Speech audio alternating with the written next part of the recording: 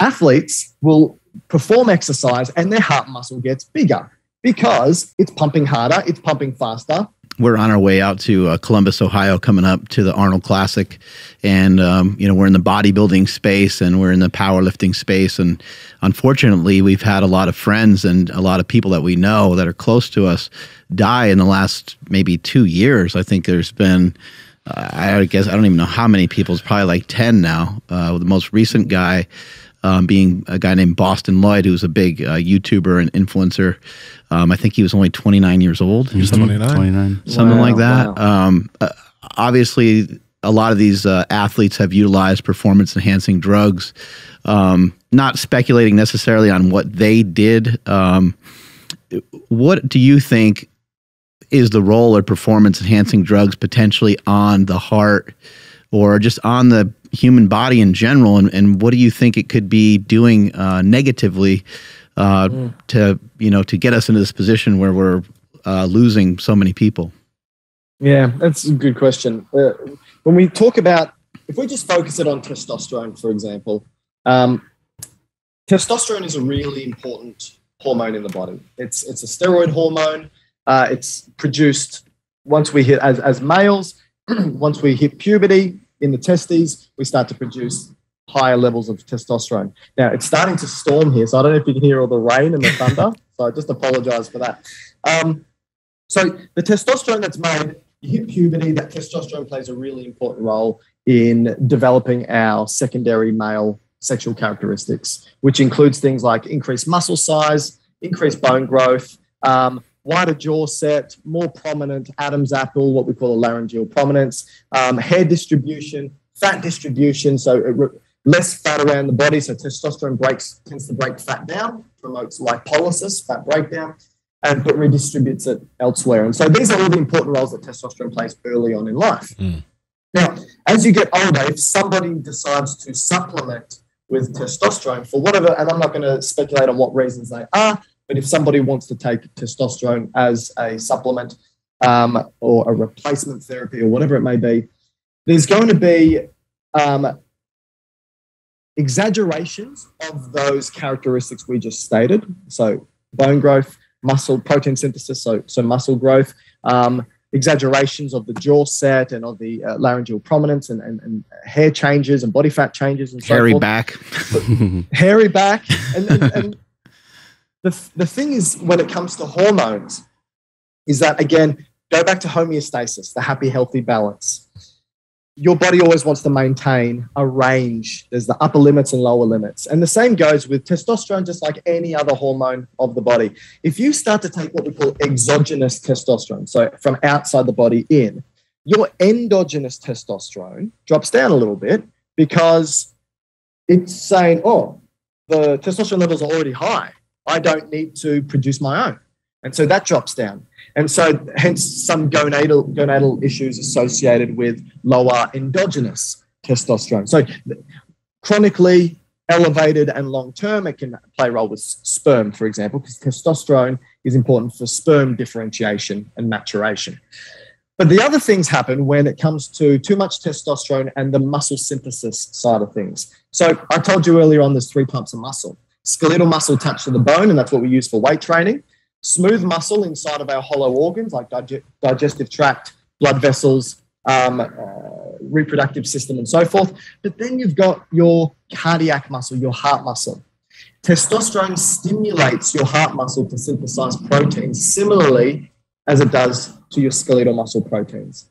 And now, again, homeostasis, your heart is a muscle. And so athletes will perform exercise and their heart muscle gets bigger because it's pumping harder, it's pumping faster, and its response, just like when you go to the gym and do bicep curls, is to get bigger so that it is more efficient at pumping harder and pumping faster. And so an athlete's heart is bigger, and that's fine. That actually means they have a lower resting heart rate. Um, when they when the heart gets too big, though, and this includes athletes as well. So this can be an athlete who's not on testosterone, but an athlete's heart can get too big and then it fails. And this is one of the reasons why you get athletes dying at earlier ages is because of heart failure, because their heart has grown too big. Now, it's not just the size But when a muscle like the heart gets too big, it itself requires oxygen and nutrients. And so the demand for it to get nutrients and oxygen goes up. Mm. And that then can become difficult to supply that to the heart, especially if the diet's not great and some of the blood vessels are occluded or blocked, which is what occlusion means. Um, but if you've got the chambers inside the heart, right? And that's where the blood goes in. And when the heart contracts, it squeezes those chambers, just like squeezing a tube of toothpaste, and the blood squirts out. But if the heart muscle gets bigger, it actually makes those chambers smaller. And then the heart hits this point, it goes over the threshold where it becomes really efficient to being really poor at doing its job. And so then heart failure occurs. And this is where the heart no longer works as a pump. And so that can happen with athletes, not on testosterone, but it can also happen on athletes who are on testosterone because of the uh, increased likelihood to develop a thicker heart or thicker heart muscle. I know you're enjoying this episode, but listen up. We partner with Marek Health. They're a telehealth network owned by Derek for more plates, more dates. But literally, the amazing thing about Marek Health and getting your labs done with them is that when you get your labs done, you work with a client care coordinator that goes over your labs and gives you specific supplementation or nutrition protocols or potentially hormonal protocols for your levels. The problem with a lot of these other telehealth networks is that when they do these things, they give everybody the same exact things, which actually can hurt you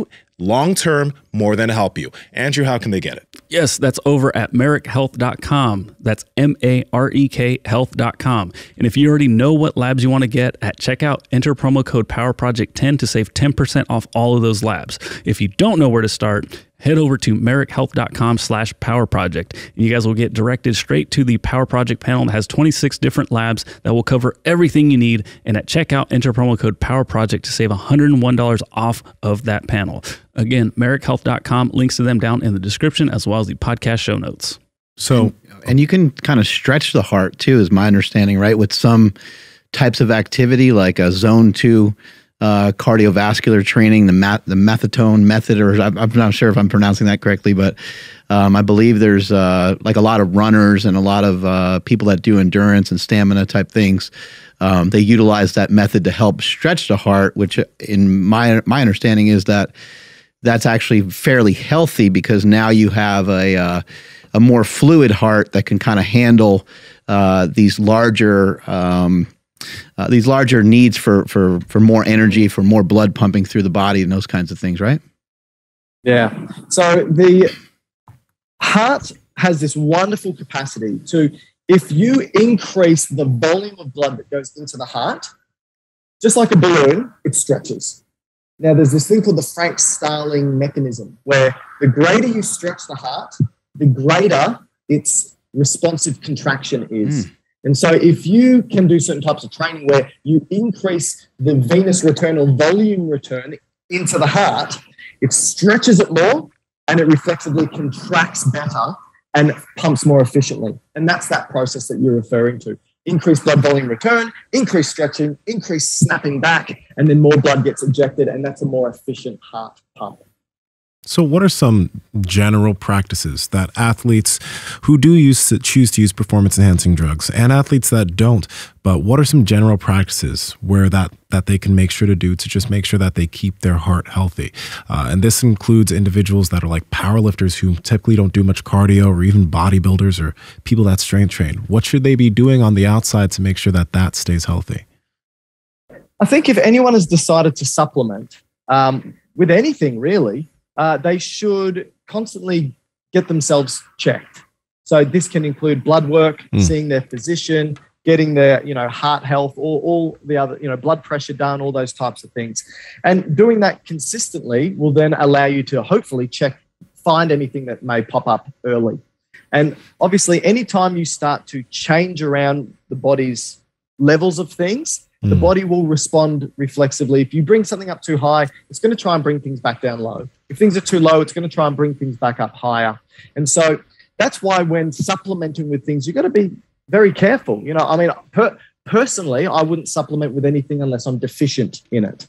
And so I always go, my GP is a good friend of mine.